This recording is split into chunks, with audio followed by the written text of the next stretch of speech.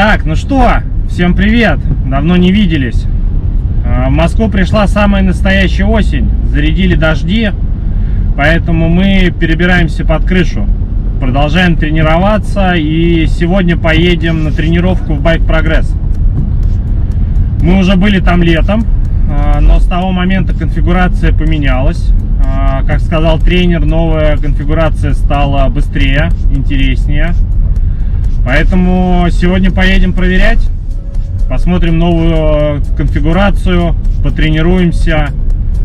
Ну а по традиции все самое интересное будет дальше на видео. Ну это просто постная хуйня какая-то, блядь. У тебя скучное лицо. Тебе никто денег не даст.